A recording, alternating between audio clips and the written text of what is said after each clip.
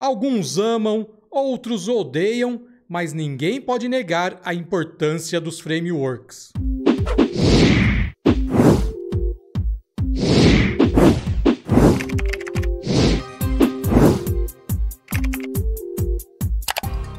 Fala, Techers! Hoje eu quero voltar a falar de um framework front-end que faz tempo que não aparece aqui no canal, que é o Foundation. O Foundation, ele nasceu lá atrás, quase que junto com o Bootstrap, e com o tempo ele foi ficando é, famoso.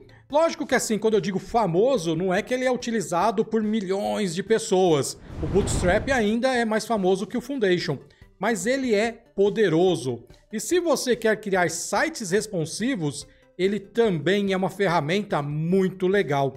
Então a ideia hoje é a gente dar uma olhada na última versão dele, que é a 6, 6 ponto alguma coisa, ver se tem alguma novidade e se for legal e se vocês acharem que vale a pena, eu posso fazer vídeos mensais falando do Foundation. E o legal do Foundation é que ele tem uma versão só para e-mails, só para criação de newsletters responsivas, que são compatíveis com todos os clientes de e-mail, inclusive web e-mail lá do Gmail, Yahoo, Outlook, todos esses que tem aí que abrem direto no navegador são compatíveis com este Foundation para e-mails. Então a gente vai dar uma olhadinha, ver o que tem de novidade lá, ver se vale a pena realmente falar dele ou continuar falando dele.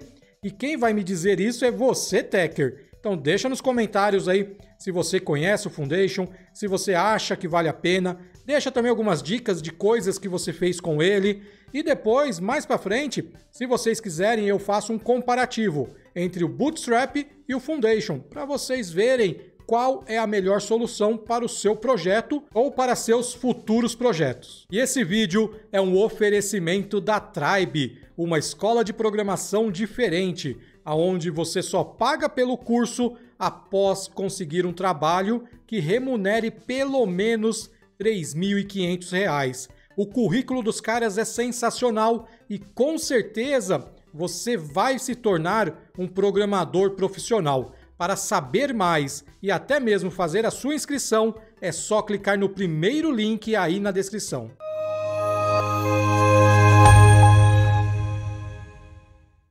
Antes da gente ir aqui para o site, eu só quero dizer que está passando uma moto, um carro, sei lá, acho que estão testando o Chevette, a cheveteira estão testando hoje aí. E, então, se ficar um fundo aí, aparecer um carro do fundo, me desculpem, é, logo vai ter uma acústica melhor aqui para abafar isso.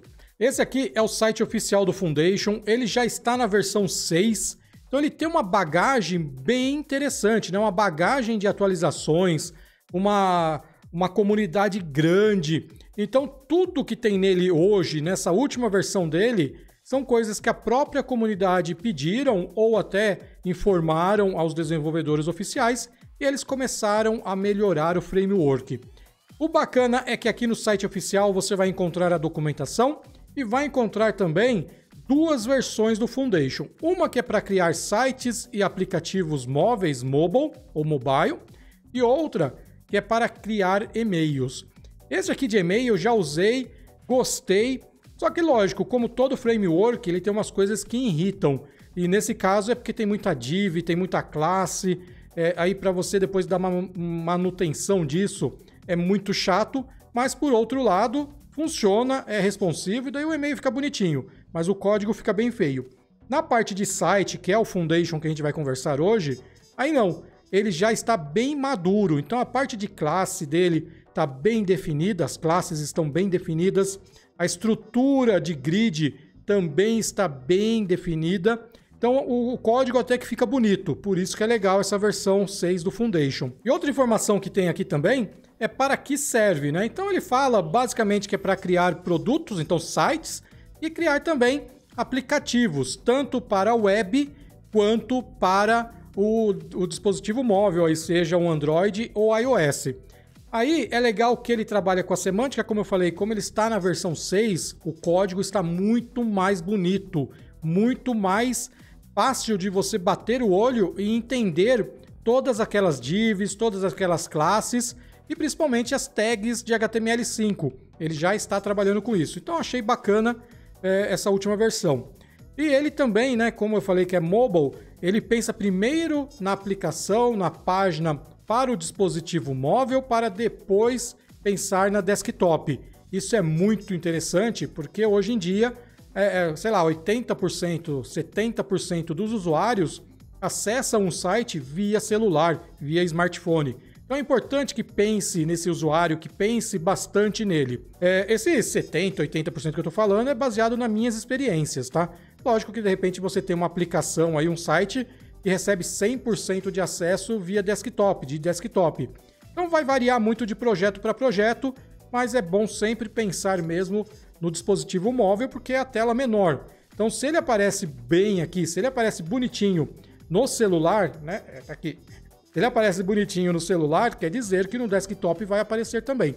E a pessoa vai ter a usabilidade, vai conseguir ler, vai conseguir fazer tudo. E ó, passou moto de novo aí, vocês me desculpem. É, então ele é basicamente um canivete suíço, né? Bem esse desenho mesmo, Foundation é um canivete suíço para você poder criar o seu site ou aplicativo. E ele é bem fácil de ser é, aprendido. Você consegue consumir o Foundation, consegue usar o Foundation bem fácil. É coisa de 3, 4 horas estudando, você já começa a entender como tudo funciona. Outra coisa que eu acho bem legal que tem aqui no site é o showcase, que ele mostra algumas aplicações, alguns sites que foram desenvolvidos, foram criados tendo o Foundation como base. E o legal é que tem um monte de tema para WordPress que usa o Foundation, tem um monte de template para Joomla que usa o Foundation. Então ele é bom mesmo, ele é legal. Lógico que tem gente que nem sabe que ele existe, mas conhece o Bootstrap. Então por isso que é bom ficar ligado aí no mundo da tecnologia, porque tem, tem framework que sai todo dia. Esse aqui já está há um bom tempo no mercado, mas enquanto eu estou falando com você aí, já deve ter saído a cada hora mais um framework front-end. Então tem aqueles que você tem que ignorar e tem aqueles que você tem que ficar ligado, e o Foundation é um deles. Aqui no Showcase, olha só que bacana alguns projetos, alguns sites, algumas aplicações que foram feitas utilizando ele. E aqui, o Washington Post, que é um grande jornal lá do, dos Estados Unidos, de Washington, e eles usam o Foundation, inclusive, para a parte móvel, ou para o mobile deles lá, para o aplicativo mobile deles, mobile, que eles desenvolveram. E isso é legal. Então é bacana depois você ler este case, entender por que essa galera de lá escolheu este framework e não outro, e assim você começa a ver que ele é legal nisso, ele é bacana naquilo, e assim você começa a desenvolver e a entender melhor como utilizar ele. Nos outros menus aqui do, do site do Foundation, tem a parte de desenvolvimento, então você encontra alguns recursos, alguns arquivos para download, tem a parte de templates HTML que você também pode baixar e usar, e isso é bem legal porque tem alguns templates aqui bacanas, ó. De repente você está criando um portal de notícias. Olha só, tá aí já um templatezinho básico para você usar. Quer criar um tema para WordPress no estilo magazine? Também tem. É, a parte de real estate, que é de imobiliária, parte de shopping, é, de e-commerce, blog. Então ele tem alguns templates básicos aqui que você pode baixar e usar à vontade aí no seu projeto. Lógico que aí você vai ter que estudar o Foundation também, porque não é só baixar e usar, você tem que entender ali todas as tags, todas a parte de JavaScript dele, vai ter que entender também todas as classes. Então tem um, tem um pequeno período aí de estudos, né, para você entender tudo. Mas o legal é que ele já te dá essas ferramentas. Outra coisa que eu gosto muito do Foundation são os building blocks, são bloquinhos de código mesmo para você agilizar o trabalho. Então você está querendo, querendo criar um carrossel ou um slide de imagens ele já tem alguns building blocks para te ajudar a fazer isso. Inclusive a parte de menu, você já tem aqui alguma coisa pronta que você pode usar. Ele já te mostra como é o HTML, como é o CSS. Aí você pode copiar e usar no seu projeto. E olha só, quando eu falei semântica, olha só que bacana, o código é limpo mesmo.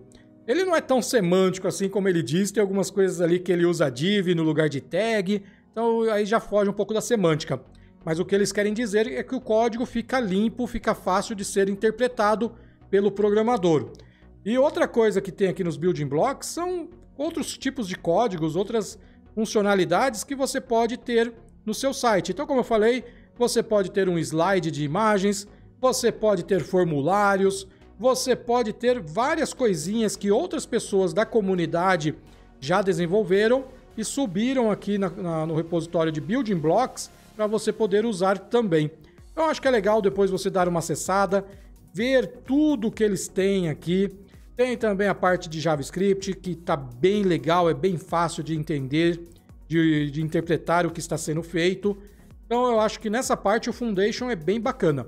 O Bootstrap 5 está caminhando para isso, JavaScript puro, é fácil de entender o código, qualquer pessoa, mesmo que não seja responsável por aquele projeto, consegue ver o arquivo e entender o que está lá. Outra coisa aqui no site que é legal são os tutoriais. Então você tem tutoriais de como utilizar o framework. Você tem como assistir vídeos criados pela, pelos, pelas próprias pessoas responsáveis pelo framework. Nada melhor do que ver quem fez falando como usar. Você tem também aqui a parte de lições, então você tem como fazer algumas lições para fazer determinada coisa, assim você aprende realmente. Tem também cursos, treinamentos, certificação e na parte de documentos, de docs, é onde você vai aprender a usar o Foundation, é onde você tem tudo que pode ser feito com ele. Então é o setup, como que você configura, tem a parte de tipografia, utilitários, controles, navegação. Aí ele te mostra como fazer uma navegação. E aí você tem um, um, exemplo de código e tem também um vídeo introdutório. Olha só que bacana, isso que é legal. É bem profissional mesmo. O Foundation tem essa, essa característica de ter uma equipe ativa, uma equipe que é comercial, vamos dizer assim. É uma empresa chamada Zurb que está por trás, o Zurb ou Zurb, é, que está por trás da, do framework. E eles mantêm lá uma equipe diária lá direto trabalhando nas melhorias. Então por isso que o Foundation tem esse estilo mais profissionalzão e isso é muito legal porque dá a oportunidade de várias pessoas conhecerem o framework e trabalharem com ele. Muito bom, hein, Tecker? O Foundation é sensacional. Ele não é tão conhecido quanto merece. Eu acho que ele merecia mais destaque aí no mercado, no mundo do desenvolvimento. Mas isso também faz parte porque o Bootstrap ganhou tanta atração, ganhou tanto usuário, tantas pessoas, tantos programadores nos últimos anos, eu acho que é até complicado agora para que outro framework consiga pelo menos chegar perto do sucesso do Bootstrap. Mas isso não quer dizer que o Foundation é ruim, muito pelo contrário, ele é bem legal. Se vai ter uma continuação mensal, se vai ter vídeos mensais sobre o Foundation, é você, Tecker, que decide. Por isso, deixe nos comentários o que você acha legal se você acha legal isso. E claro, deixe também dicas do que você quer ver ou até mesmo de coisas que você fez no Foundation que você não gostou de fazer no Bootstrap, ou vice-versa, porque isso é legal para conteúdo. E de repente, eu posso até convidar você aí do outro lado para participar de um vídeo comigo. Olha aí a, a oportunidade, hein? Se você de repente quer falar sobre o Foundation e quer defender este framework, deixa aí nos comentários. De repente a gente combina aí um vídeo e você vai aparecer aqui no TechZoom junto comigo. Agora, não esqueça de curtir e compartilhar esse vídeo e, claro, assinar o canal do TechZoom e clicar no sininho. E a gente se vê no próximo TechCast. Valeu!